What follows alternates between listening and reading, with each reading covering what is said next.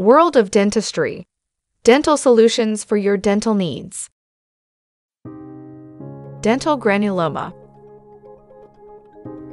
Hi everyone, in this video, we will be talking about dental granuloma, an inflammatory lesion that can affect the tissue surrounding and supporting the root of the teeth. First of all, what is a dental granuloma? A granuloma is a benign mass composed of immune cells that forms when the body tries to isolate foreign substances that it has not been able to eliminate.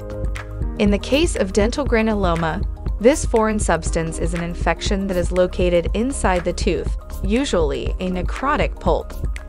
The pulp is the soft tissue found inside the tooth, and when it dies, dentists refer to this as pulp necrosis. If the infection inside the tooth is not resolved, the bone surrounding the root tries to defend itself from it and forms a periapical granuloma. What are the symptoms of dental granuloma? Usually, the periapical granuloma grows slowly, so there are usually no symptoms. However, with any slight change or stimulus in the area that could promote the growth of bacteria, the process could become acute, generating a lot of pain and, in some cases, severe inflammation. How is periapical granuloma diagnosed? Most patients do not usually experience symptoms that lead them to seek dental care, so it is generally identified thanks to a routine x-ray or by observing that the tooth is not sensitive to changes in temperature. Can I treat a dental granuloma at home? No, it is always necessary to remove the cause of the infection.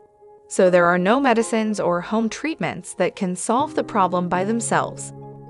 In the case of dental granuloma, it is best to consult with an oral health professional who will explain the most appropriate options for eliminating the cause and promoting the healing of the bone surrounding the tooth. What is the treatment for dental granuloma? The specialist in charge of treating periapical granulomas is an endodontist. Depending on the extent of the lesion, the time of evolution, and the degree of tooth involvement, treatment options may include root canal treatment, apical surgery, or tooth extraction and replacement with an implant or prosthesis. In summary, dental granuloma is an inflammatory lesion that can affect the tissue surrounding and supporting the root of the teeth.